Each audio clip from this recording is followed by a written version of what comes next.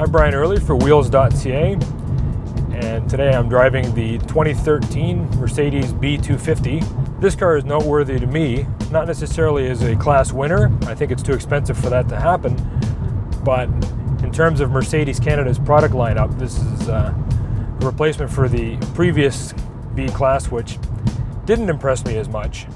This one, on the other hand, beautiful interior, it's got uh, the turbo motor is now standard and it's strong. Uh, being that this is uh, a front wheel drive product, Mercedes has uh, designed a new seven speed transmission for it.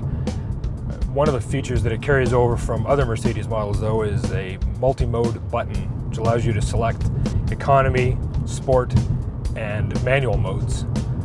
Uh, this car also features an auto stop feature where when you come to uh, a stop sign, turns the motor off, and then when you release the brake pedal, it restarts. A feature like that isn't recognized in Transport Canada's fuel economy ratings, but in the European cycle where they factor in traffic, it actually can make a pretty profound difference in fuel consumption.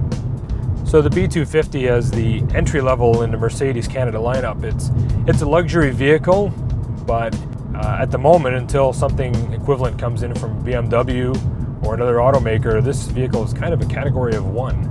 For Wheels.ca, I'm Brian Early.